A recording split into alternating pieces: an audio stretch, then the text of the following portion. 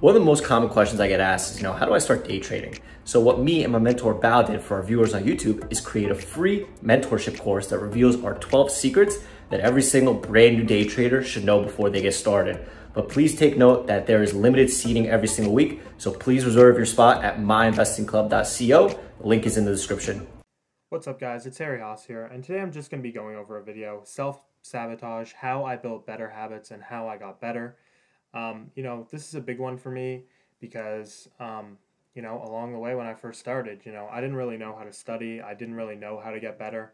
Um, so yeah, if you're kind of struggling with that, this is definitely a good video for you. Um, so I know that the slow market was hard. I know April was a hard month for most. It was a lot of grind, a lot of chop. I guess how I kind of dealt with it is that I kind of almost like took some time off. Um, I was sleeping in. Um, I wasn't worried about missing opportunities. I was really just, you know, really worried about just being consistent every single day. I wanted to show up every single day, but I wasn't going to be itching looking for a trade. I was going to go slow. I was going to be methodical. I was going to be patient, and I was really going to nail the setups that I knew were going to work for me. And if there was nothing on the day, I had to be really honest with myself, and I had to say, okay, there's nothing here today for me. I need to walk away. I'm not going to gamble every day. I'm not going to be a degenerate every day. This isn't the casino. This isn't Vegas. I'm going to treat this like a business. I'm going to keep moving forward. And that's exactly what I did. Um, so I thought I would just kind of, you know, start talking about kind of the middle and the beginning of my journey. Because in the middle and the beginning of my journey, there was a lot of struggle, there was a lot of loss. But what kept me going? You know, and I think the thing that kept me going the most was I was seeing other consistently profitable traders, you know, just living and enjoying their life and saying, hey, listen, I sacrificed for a couple years, but now I'm enjoying kind of the fruits of my labor. You know, I looked at people like Alex, I looked at people like Bao. Um, you know, I saw tons of people on Twitter and stuff like that who were profitable and who were kind of living well. And that was what just kind of kept me going. I said, This is my goal. This is what I want to do. This is who I want to be. This is really the person who I want to become. And then I needed to kind of put in the work and take steps in order to get me to the to the next place and keep me moving in the right direction. But after a while, I think after like a year or so, you know, you just run out of motivation. You know, it's the same grind every single day. I'm gonna get up. I'm gonna I'm gonna work. I'm gonna keep trying to get better. Um, I'm to keep doing my thing.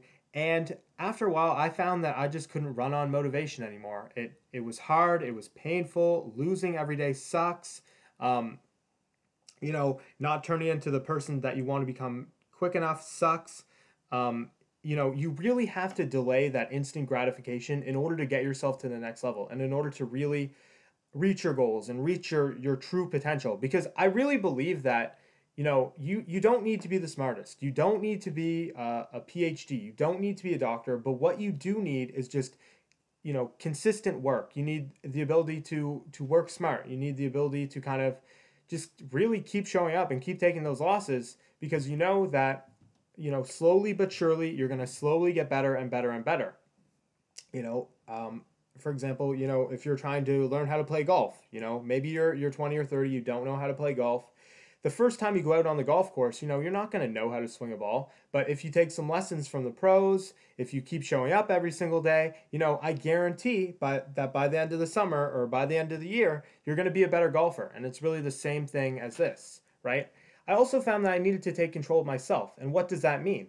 Um, you know, I had to really be hard on myself and say, okay, you can't go out with the boys tonight. You can't go out and party tonight. You really need to um, in my opinion, just crack down on yourself. You need to to treat it like you're in university. You need to treat it like it is a second job, and you really need to kind of again take control of yourself and really be hard on yourself and really be disciplined on yourself. And if you can't do that, I really believe that you just don't want it bad enough. Um, so for me, for instance, and you know, I'm just I'm not going to rant about um, you know other people trying to get better. You know, I needed better habits myself you know, I found a little bit of success and I started drinking, I started partying, um, and that really doesn't put you in a good place. Like, I really believe that if you get a little bit of success, you know, and you start drinking, you start partying, it's very, very easy to lose sight of your main target and your main goal. You know, let's say you start making 300, 400, 500 to a grand a day, and you start drinking and partying, you know, very quickly that can be taken away from you, and very quickly the market can humble you. So you really need to, uh, you know, create a schedule and say, okay, you know, going out and partying is okay. You know, I think it's it's it's frowned upon all the time. I read people on Twitter, they're like, if you're not partying right now, or if you're partying right now and you're not working, like I'm better than you. You know, I I, I really do believe that. Like, um, you know, going out, drinking and partying, that's okay, all in moderation. But if you start going out every single night and, you, and it becomes a problem and it starts interfering with your work and it starts interfering with your trading, you know, then you really need to take a step back and look at yourself and say, hey, um, this is obviously an issue that I need to fix in order to get better and in order to take myself to the next level. You know, if you're a six figure trader and you want to become a seven figure trader, well, drinking and partying every single night is not going to get you in that right direction. You know, if you're a four figure trader or a five figure trader, you're just getting started. You know, in order to get up to those numbers, drinking and partying every single night is not the thing that is going to get you there. Trust me. You know, so what did what did I have to do? I created a schedule that fit myself.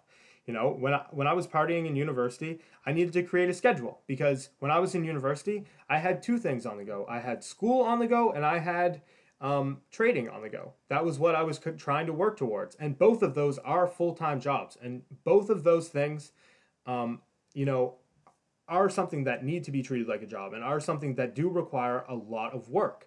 So I had to create a schedule. You know, in the morning, for instance, I would wake up at 6 a.m. in the morning I would go over the market, I would read the tape, I would chart, I would do all my work. Then after the market closed, all my classes were scheduled so that in the afternoon I could do all my classes because, you know, at the start of the year I said, "Hey, I need to trade. I need to be the first person to pick all my classes so that in the afternoon I can do my classes till night, do my homework at night, and then repeat and do it all over again. And some people said at the end of second year, yo, we didn't really see you a lot. And it was because I was just working. Uh, you know, I wanted to kind of get to the point where I could drop out. I wanted to get to the point where I was making enough money, so I didn't really need to worry as much. Hey guys, my name is Tosh Bradley. I'm one of the head mentors and moderators at My Investing Club. If you have any questions about getting started in trading, getting started in MIC, MIC in general, text me at 213-458-5997. This is not a robot. It is me directly on the other end of my business line, and uh, we'll get you in the club. We also have special promotions going on that I can get to you depending on your trading needs. Hit me up. Back to the video. And that's exactly what I did. Um, I just, I really spent time just working and working and working and getting better and better and better so I could put myself in a position where I could drop out and I could just solely focus on trading. Um, another thing is I needed to manage my relationships a bit better. You know, I found that what was happening is that, you know, it was very easy for me to, I guess, um, fall off the wagon a little bit, right? With either friends or you know, own family relations. It's very, very easy when you just put your head down and work towards something that you can start kind of losing sight of other relationships. So I think I needed to manage my relationships better as well. And another thing is that I needed to manage my mental health better. I needed to take more time for me. I needed to instead of just drinking all the time and partying all the time, you know, which is how I kind of dealt with stress and a lot of things like that, I needed to find better activities. I needed to go to the gym more. I needed to work out more.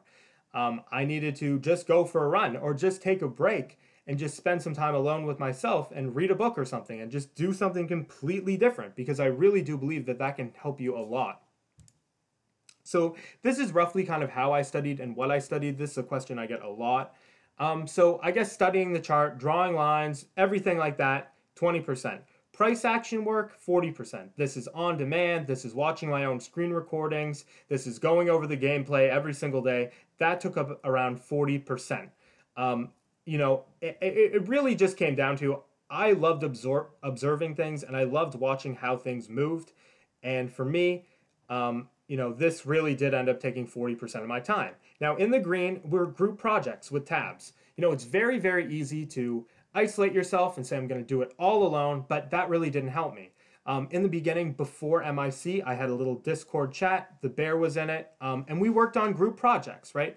Um, all of us kind of took a turn. All of us kind of did our own little things, and then we kind of presented it to the group and said, hey, um, this is kind of what we found. This is our kind of thesis. And so that took up 20% of my time. Um, in the purple, studying my trades and going over my trading journal, that was something that I did a lot. Um, you know, I mean, these could easily both be, uh, you know, 40%. I just put the 40% to price action work because I really found that that was what I found myself doing 40% of the time. The other 20 was, you know, again, um, just just really just me kind of I guess just just just going over my trades, studying my trades, going over the journal. That's really what I did. Um, you know, I found that that helped me a lot. And, you know, I think that having a journal and writing everything down every single day is very, very important, right? Um, you know, you want to get to a point where every single day, if you see something different, or maybe maybe you went long a breakout and you got stuffed into it, write that down. Say, hey, I went long into a breakout. It didn't really work. I got stuffed on. And for the next time you see that scenario, maybe you go short or maybe you just avoid the setup altogether, right? Don't keep making the same mistakes over and over and over again. Keep a detailed journal every single day of every little detail that happens to you because then at the end of the day, you can say, aha, I forgot about that. I can go over this now and I can keep getting better and better and better. And that's something that you can do every single day. Keeping a journal is very, very easy. If you have a notepad, a pen and paper beside you, that can help you a lot. So, some tips to kind of help with study. Um, a study prep is good. Um, you know, this is just something that I kind of did for me um, I kind of laid out a lesson plan for myself of what I wanted to achieve and what I wanted to go over in the session. I mean, for me, um, I'm someone who likes to be very organized. I'm someone who likes to uh, know what I'm going to do, know what I want to accomplish, have a little goal that I can tackle. Because if you have a little goal that you can tackle, it's almost like a brain hack for me. If you say, hey, I want to watch 30 minutes of this particular action and I want to get this, this, this, and this out of it or I want to do this much of a, a little a little you know I want to I want to go over this much of my journal or I want to go over this much of this or this this much of that or I want to achieve this much in a little group project that I'm working on that can help you a lot. Um, you know and you need to remember like you are your own boss in this situation. There is no one coming to help you right? If if your boss caught you on TikTok for an hour every single day you'd be fired. So you need to remember that you know, you are your own boss. So for that hour or two or three that you're working, you know, don't be on your phone, eliminate all your distractions, and really just pay attention. You know, stick to your own schedule as well. I understand a lot of people do have kids, a lot of people do have family responsibilities. That's okay. You know, you can always schedule around. There's always a little bit of time that you can kind of find to get back and do what you want and achieve the goals that you want to do, right? Everyone's schedule is going to be different. Some people may work a night shift and then they trade and then they sleep. Um, again, for those types of schedules, I'm sure you can find a little bit of room where you can just get a little bit of, you know, things done. Because if you put 30 extra minutes a day more than the next guy, you will come out 30 extra minutes a day um, ahead and on top of that other person, right? And, you know, again, everyone's competing with each other um, you know, you're competing against yourself, but at the end of the day, you know, if 90% of people are short and you're long and you're squeezing them, you know, you're competing against all those people, right? You want to lag on top of all those other people. So you really, really, really need to just keep putting in the work, keep your head down, ignore the noise, and just keep going. You know, and another thing is stop comparing yourself to others, right? It's okay to use other people as motivation. It's okay to say, wow, Bao lives in a really nice place. Bao has a Ferrari. That I'm motivated to be like Bao. But if Bao's making 4K every single day and you're like, wow, I'm only at 200, I want to be making 4K like Bao, and you start getting in that toxic kind of comparison, that's where it kind of can become a problem. And you can start over trading, trying to reach those P&L goals, getting away from those kind of process goals. Those are, you know, that's not what you want to do. You want to just be focusing on the process every single day, focusing on your own self, focusing on your own work work ethic, just to keep getting better and better and better. And I think that that is something that can help you, you know, you know, really a lot.